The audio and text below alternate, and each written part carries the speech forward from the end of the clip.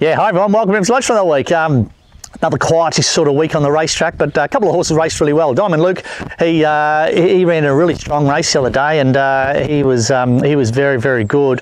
Uh, he might have just raised the bar a little bit with that horse. I, have sort of been trying to place him in sort of the weaker races I could find, but um, certainly um, he, his run the other day was in really strong company, and uh, and he wasn't far beaten at all. So um, I'll have to reassess where I head with him. But he's going really well, looks really well. He's nice and healthy. He's probably racing in career best form. So um, I'll uh, there's a nice nice little 2400 metre race at Geelong on Friday week. That might be have his name written all over. I think he's screaming for the 2400, and um, and uh, back to Geelong would really suit him. Also had a little mare called a little filly called uh, Azoya go up to Seymour, and um, she was dead stiff. Jockey come back and said clearly thought he should have won.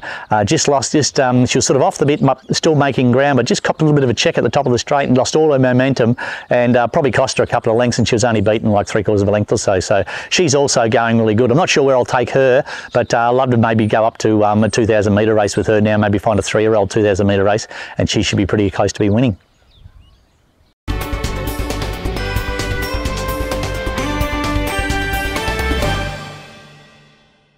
Uh, as far as runners go, we're probably only going to have this little mare Tango Jewel go to the races. Um, I'm only going to have the one runner, I think. Um, she, um, she, I had her in last week, and she just went off the ball a little bit, and um, we got a blood count taken from her, a little bit ordinary, but um, she's since picked up really well, and uh, really happy with her now. So I'll give her a gallop in the morning. If she works up good, um, she'll either go to Mornington on Monday or Ballarat on Tuesday. I've got her in both spots. I'll just have a look at the races and see which one pans out, which one looks the best uh, option for her. But uh, she's going to she'll bounce and just put put herself in the race. She's nice and bright. She certainly um, was bright here yesterday morning, and uh, so I expect her to work well tomorrow. So that'll be Tango Jewel. She'll either go to Mornington or Ballarat next week.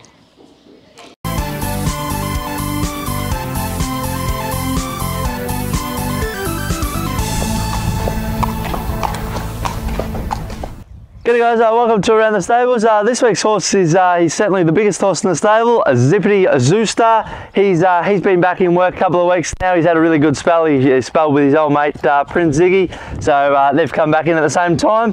Uh, this guy, he had a really good prep last time in. He was really consistent and uh, uh, probably apart from his last run where he probably had enough, but uh, he, he won at Warrnambool really well and uh, either side of that he, uh, he ran a second at Hamilton behind a pretty smart one and then third at Warrnambool in, in good grades. So he, he coming in this time of year, heavy tracks and I think back in his first prep he actually ran third at Sandown so that's probably pretty, pretty good form on a heavy track to, to warrant that he, that he handles handles heavy tracks well enough. So uh, yeah, I reckon he's in for a really good prep. He's certainly matured and uh, yeah, he is what he is now. So uh, we should be able to get plenty of racing into him and uh, yeah, certainly keen to, to, get, to get him to the races this time of year in the middle of winter.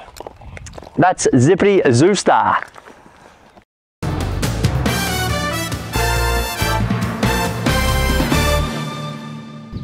Yeah, that's it for the week. Thanks for watching. Um, for those who asked, uh, Torquay beat um, the Amos the other day, Geelong Amateurs the other day in the footy. So Brad had the bra uh, bragging rights over James and Darby, but um, the boys uh, all played well. They both kicked goals, and uh, two of the boys kicked goals, and uh, they all played pretty good. It was pretty good having all three boys in the field. It was good. Uh, as far as us, once again, really quiet this week. Only had, maybe have the one runner. I'm going to take about four or five to Penshurst to the trials on Wednesday, and and then th those horses will race the following week. So we'll probably have a really quiet month this month, and then we'll be really, really busy sort of the following month. Um, also, we're going to the uh, Great Southern Sale this week. James is headed down there now, and uh, we're going to look at maybe purchasing a couple of weanlings. So keep a close eye on our website. Um, these sort of horses, you can buy them at sort of half price, and we can sort of grow them out here at the farm ourselves, and uh, and uh, and then hopefully we can race them as yearlings or two-year-old, get them broken in as yearlings, that sort of stuff. We'll start syndicating them. So um, really busy time. Other than that, other than we're not going to the races a real lot, I'm really looking forward to going back to the races and have some um, have something half decent going around. But uh, I'm really happy with the way the horses, the couple of horses that are actually at the races are, uh, are either winning or running a place. So um, anyway, we'll see how we go, eh? Till next week. See you later.